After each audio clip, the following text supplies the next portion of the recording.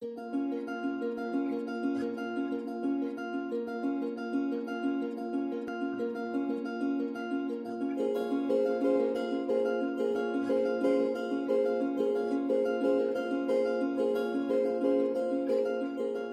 vegades vaig a fer xerrades no? amb joves o amb, no sé, amb integradors socials o això, i sempre començo igual, no?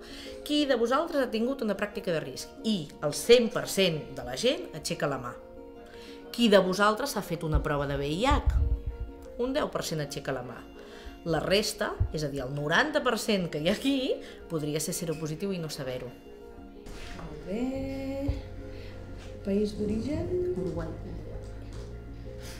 ¿Y desde qué año estás aquí? Desde el 1994. De la hepatitis C te l'has fet alguna vegada? Vale. Has tingut alguna relació sexual amb penetració? Sí, sí, sí. Vale. Eh, amb quantes parelles? Sempre amb la mateixa? L'últim any, Sí. sempre amb la mateixa. Vale. Alguna infe una infecció de transmissió sexual? No. Aquesta és la, la prova ràpida vale? de l'UVIH. Amb aquesta prova ràpida el resultat que pot haver-hi és reactiu o no reactiu. Mai parlem de positiu perquè fa falta una analítica més concreta, val? que es faria a nivell sanguini, que veus aquí, si aquí posaríem la sang, vale? que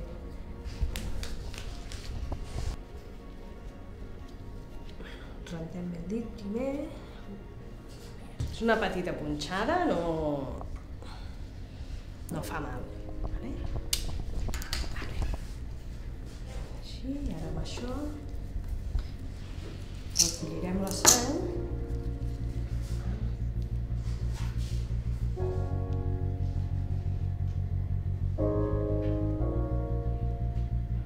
Vale, amb una miqueta ja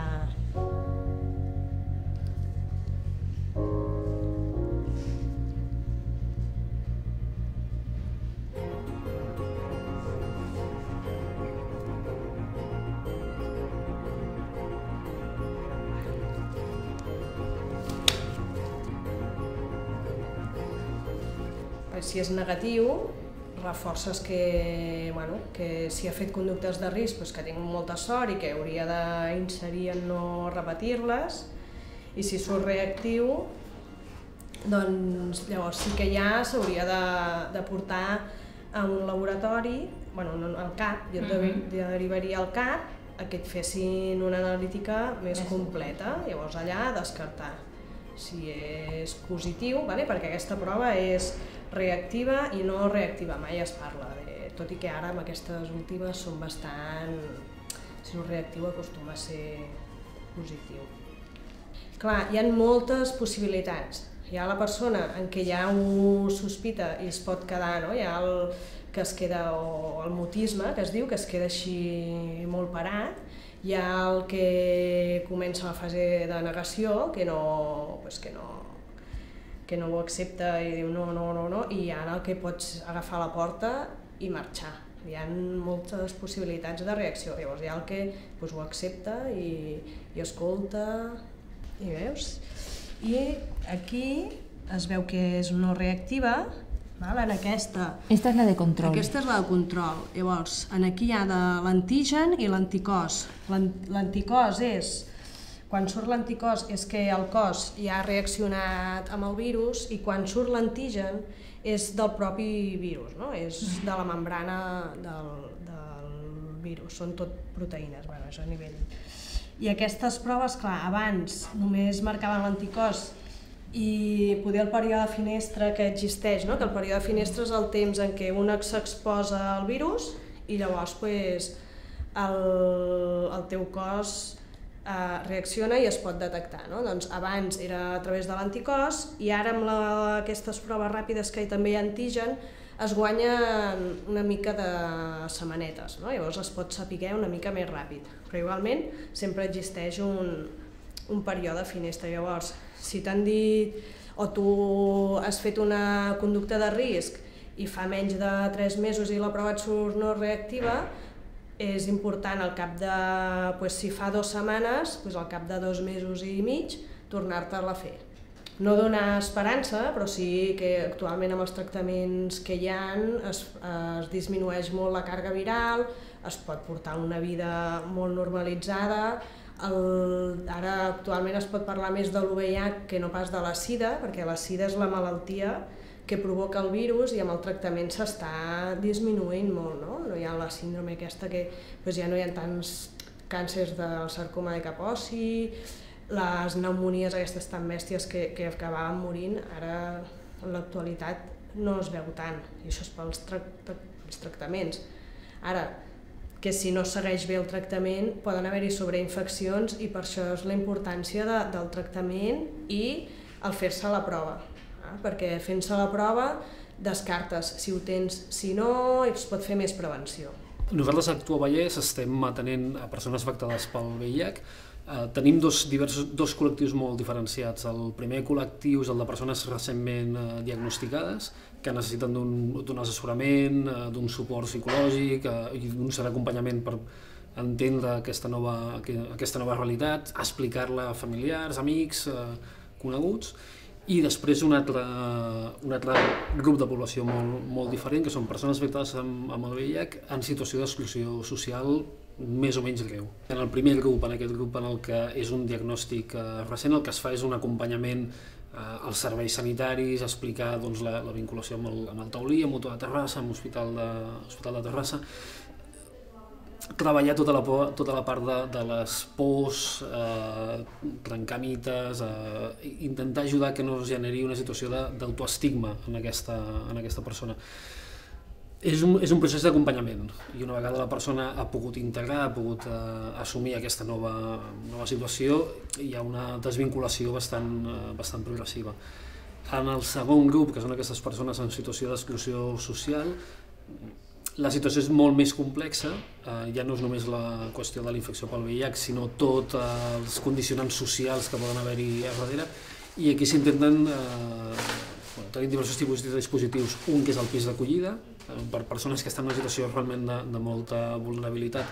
Doncs hi ha un recurs de, de 8 places que està a Sabadell, en el que poden estar-hi dos anys com un espai de transició.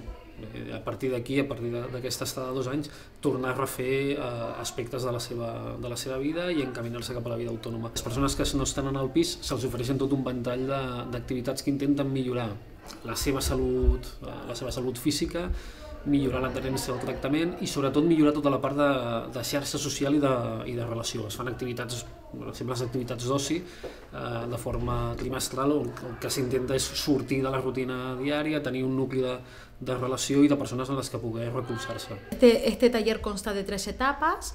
La fase 1 es una fase, se podría decir, es una fase de filtro cuando vemos que el usuario es el primer paso que el usuario da y dice que quiere buscar trabajo y que quiere mejorar su vida.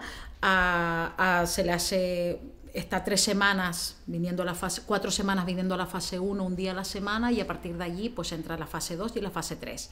La fase 2 es la que estoy yo, que es un taller prelaboral, ¿vale? En el cual se trabajan hábitos de trabajo, uh, todas aquellas problemáticas que tienen a la hora uh, de no mantener un trabajo, se podría decir normalizado, pues se trabajan en el taller.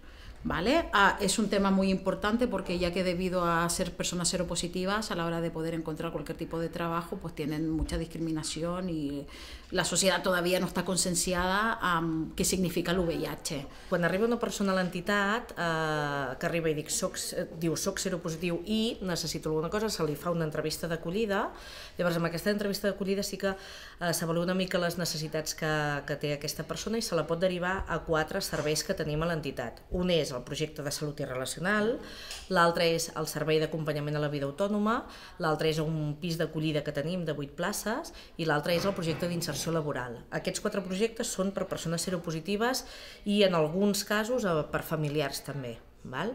Llavors, eh, en funció dels criteris que presenta aquesta persona i de les necessitats, es deriva sempre pactat amb la pròpia persona. Sí? Si ve eh, algú aquí dient és que m'han diagnosticat, ho porto fatal, no sé què fer amb la meva vida, no sé què dir-ho, doncs es derivarà al projecte de salut i aquí segurament se la dirigirà eh, a una companya que també és seropositiva i que fa aquest servei d'acompanyament no? a aquesta nova realitat, o amb mi, o amb la psicòloga, també tenim teràpies complementàries eh, per poder treballar tot el tema de l'angoixa i les d'estrès, que aquí la gent normalment ve amb uns estats mm, bastant, eh, bastant potents en aquest sentit, no? Després tenim el, el servei d'acompanyament a la vida autònoma, que aquest servei el que fa és un projecte bastant nou, tot i que nosaltres fa molt temps que l'estem fent, i que el que pretenem és acompanyar la persona en tota la seva globalitat. Com ho fem? Doncs, quines són les necessitats? On vols que, que t'ajudem? Quins són els teus objectius? Estàs aquí, vols arribar aquí? Quin és el camí que has de traçar? Doncs vinga, som-hi. I llavors fem entrevistes, fem acompanyaments, derivem a serveis socials, derivem a Càritas, derivem a on, on, on és necessari. No? Si hem de buscar vivenda, busquem vivenda, si hem de treballar el tema de drogues, treballem el tema de drogues, si hem de treballar el tema d'assumir eh, l'estat serològic, doncs treballem això, o sigui que és molt, molt, molt global. Un dels reptes que tenim amb el, amb el VIH no és, no és tant en quant a la situació de, del maneig clínic, tenim tractaments eh, retrovirals que funcionen eh, molt bé en el cas de quan hi ha bona adherència al tractament, la dificultat bàsica la tenim amb, amb la situació d'estigma i de, i de l'autoestigma. No? Hi ha un component de, de rebuig, a vegades propi per part de la, de la pròpia persona, que comporta un aïllament respecte, respecte a la societat. Aquesta és la primera passa que hem de, que hem de poder trencar, no? que, que el fet de saber que un és portador del, del VIH no comporti un aïllament eh, social propi de, de la persona. Aquest és el, el primer, el primer punt de trencament i després el trencament de, que hem d'aconseguir de la societat, que encara hi ha eh, moltíssima por, molta por, molt, molt rebuig envers les persones amb, amb VIH. L'estigma, hi ha un estigma molt bèstia davant d'aquesta malaltia, sobretot pel tema de personal amb, amb les relacions sexuals, no? el, el fet de,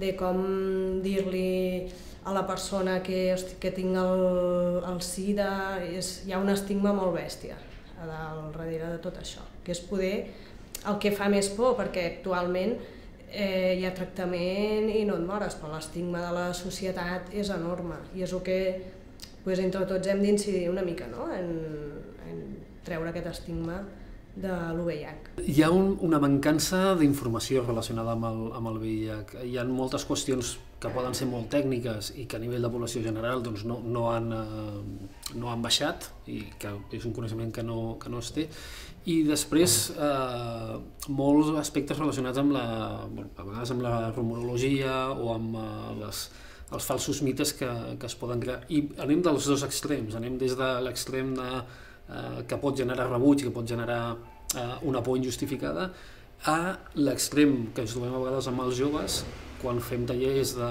prevenció en els que la, la seva resposta és de, bueno, total amb el VIH ja no passa res perquè amb una pastilla es soluciona. No, I es diu, no aquesta informació no, no és del tot correcta, hi ha un tractament que pot ser efectiu eh, però que té uns condicionants importants, és dir, no, no és una malaltia crònica qualsevol, és una malaltia crònica greu amb condicionants importants per la salut. Hi ha molta, molta, molta por al rebuig.